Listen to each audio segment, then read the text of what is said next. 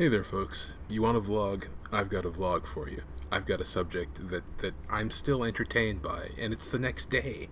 So maybe you'll find some amusement here. Let me set the scene for you, and it's a scene worth setting. I'm watching PBS yesterday afternoon, and you know, I, I'm doing stuff on the computer, so I'm half paying attention to it, and I pick up on the fact that it's some uh, black heritage thing but you know it's still in the background and i'm still on the thing. And they decide uh, a group of guys to uh, go to denali national park and to climb the mountain. Fine you know i'm still not paying much attention. And then one of the dudes happens to drop this comment and he says it you know rather casually he's explaining what they do. So he has his camp food in front of him, you know, and I'm starting to pay more more attention here. I, I, I just sense something is coming.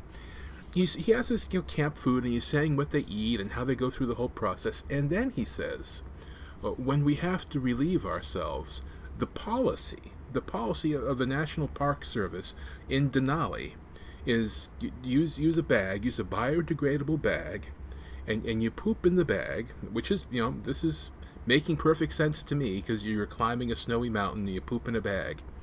You tie up the bag and you put it in a, a bigger bag. and, and everybody poops in small bags that they tie up and they put it in a big bag. And when the big bag is full, you throw it into a designated crevasse.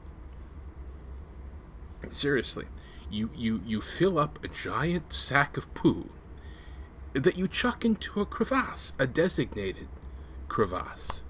And so now I'm like, well, I, have got to research this. So I went, I went online, you know, and I happened to find an article where Denali is actually changing their policies. This is an article that came out in the last few days.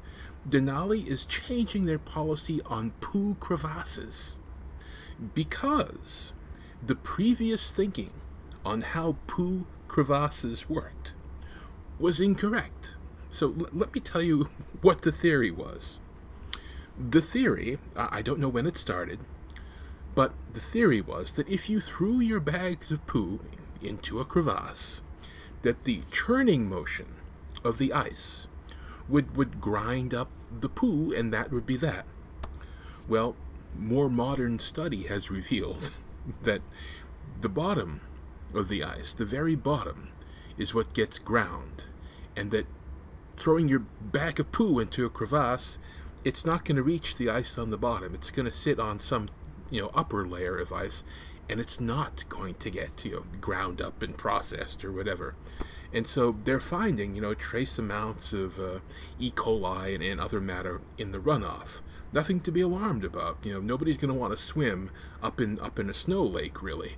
But they're finding some trace amounts, and they're taking a new approach on, on how to deal with it.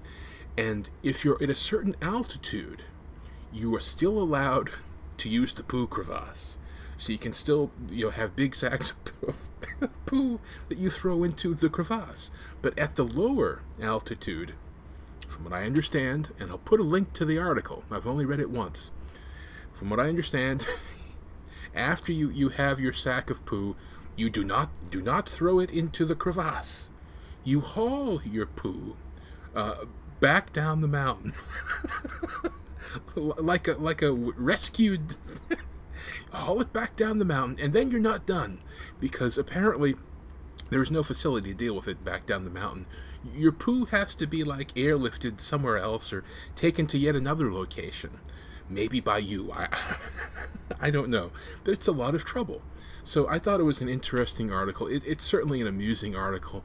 Uh, the, thought of you know deciding to, to climb a mountain, and you know it's it's not the biggest, tallest mountain or anything, but but it's a tremendous challenge, um, and to learn the protocol of the poo crevasse and, and the changing protocol and the faulty science that created poo crevasses to begin with.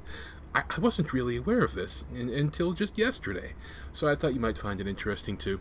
Link to the article below. Thanks for watching.